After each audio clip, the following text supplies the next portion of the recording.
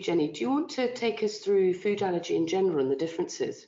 sometimes there can be a bit of a confusion because it's actually two separate pathways which are all come under the same heading of cow's milk allergy. The allergy that we sort of typify with a typical allergic response, rapid onset, and it can be things like skin symptoms, it can be things like digestive system with vomiting or diarrhea, but often it'll be associated particularly with rashes such as hives, those ones that look like little nettle rash and it can also be associated with swelling to the area that's, that the, the milk has touched. Occasionally, we do see some children who have problems with breathing. Um, they might have a bit of a wheeze or a cough or a hoarse cry.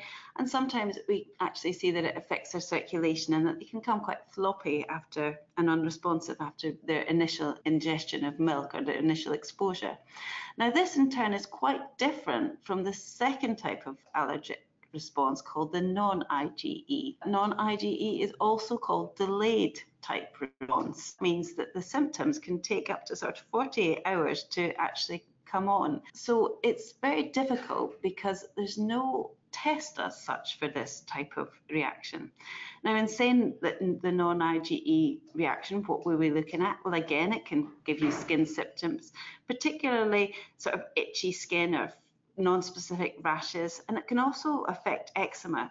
So it can have an effect on eczema flares. I've mentioned before with the IgE the effects that it has on the digestive system, but the non-IgE also has an effect, but it can be a bit more non-specific. And so when I take a history, I have to be quite specific when I'm asking a bit more detail about what sort of symptoms that parents are seeing. So it might be sort of colicky symptoms, it might be reflux, a bit of vomiting, often we see a change in the stool consistency. That might be a bit more mucus or sometimes even blood seen mixed in. Now, sometimes it might be constipation. It can be a whole variety of things. The other thing that I think is interesting in pediatrics, I used to think that if a child wasn't gaining weight, that was significant.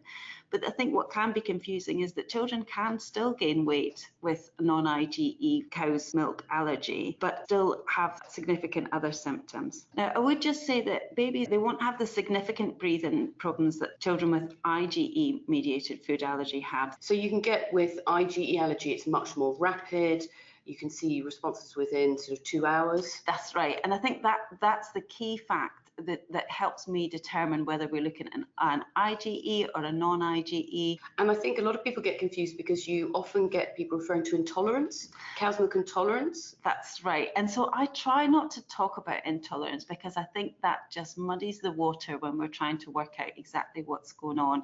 And often it's just a little bit confusing, the terminology. So to be honest, when I'm talking to parents, I'll talk about IgE mediated responses, non-IgE mediated responses.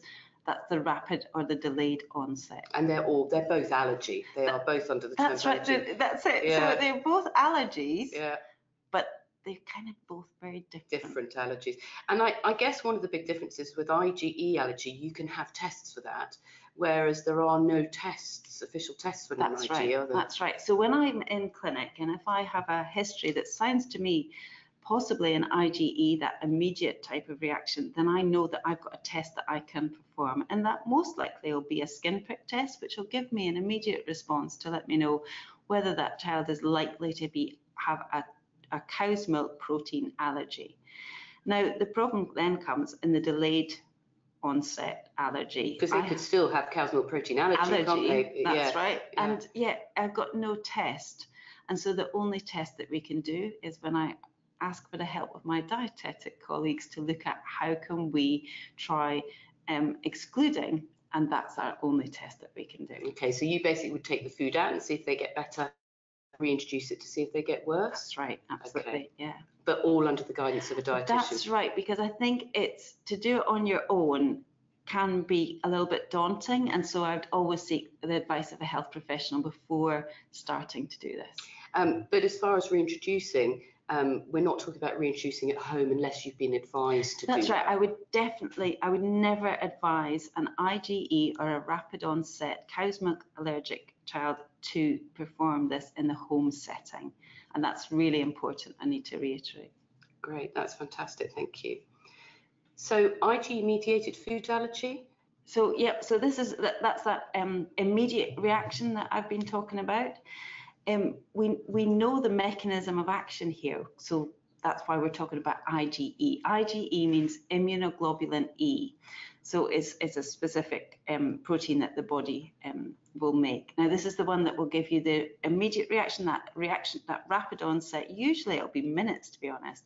And often I'll see a reaction on the skin. That will be the thing that will really give me the idea that this may be IgE mediated, such as the hives or it can possibly be swelling, particularly on the lips where the, where this, the milk has actually touched the skin.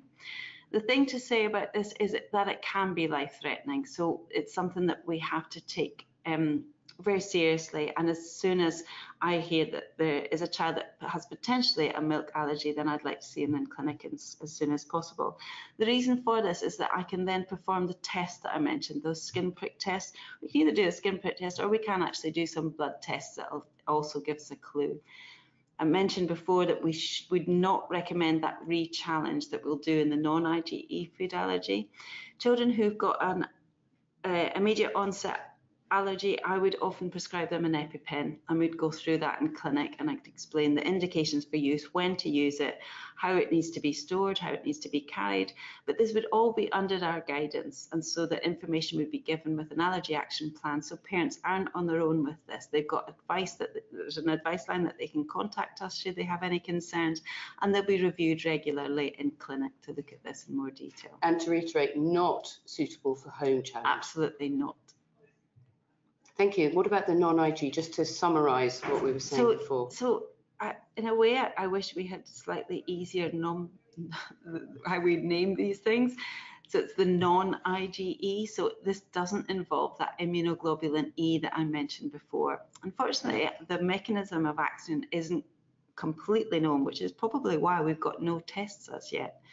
I mentioned before that it's a delayed reaction then that can take, it can be hours, but even up to a couple of days that we're looking at before symptoms arise, particularly with the skin symptoms, or it might be some of the gut symptoms, might take a couple of days. That's great. Thank you for that summary. And we've got the NICE guidelines from 2011 for allergy in children, haven't we? As yeah, well? so I think that just goes through some of the, the symptoms that um, you may see in, in your baby um, it's quite nice and it defines the difference between the two, but you'll actually see there's quite a lot of crossover, which is why I, it's advisable to be seen by a health professional who can help sort of um, just try and uh, look at this in a bit more detail.